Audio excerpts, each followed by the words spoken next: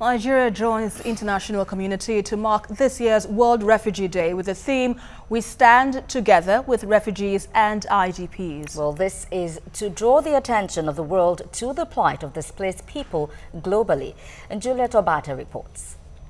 Aisha Khalidu is a mother of three who is currently preoccupied with how to feed her kids, provide shelter and medical care for them. She fled her home in Bama, Borno State, when the community was attacked by Boko Haram.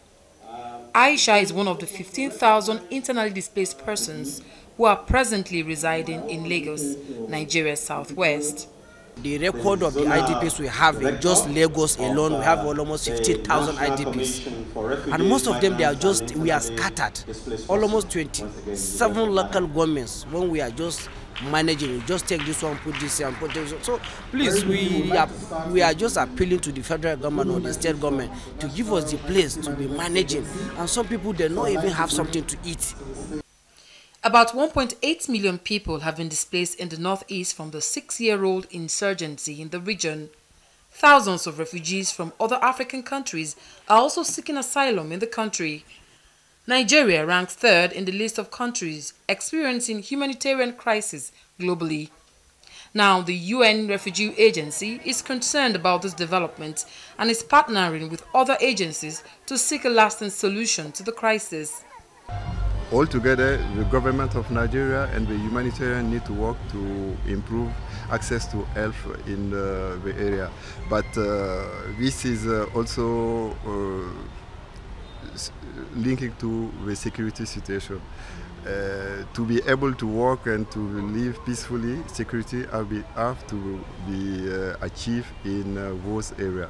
And this is one of the main challenges now. Victims of children and women trafficking belong to the category of returning refugees and IDPs in their need of reintegration and protection. It is the responsibility of NAPTIP to prevent the trafficking of Nigerian children both within and outside the country. And this prevention is carried out through sensitization. We go to schools, we go to public places, town hall meetings, even printing of posters. We've been able to benchmark punishment with the new law, where traffickers are now sent to prison without option of fine. The World Refugee Day 2017 aims to assuage the sufferings of people who were forced to leave their homes because of war. The United Nations High Commission for Refugees continues with the global campaign of drawing international attention to the plight of the displaced because it believes that all refugees and IDPs deserve to live in safety.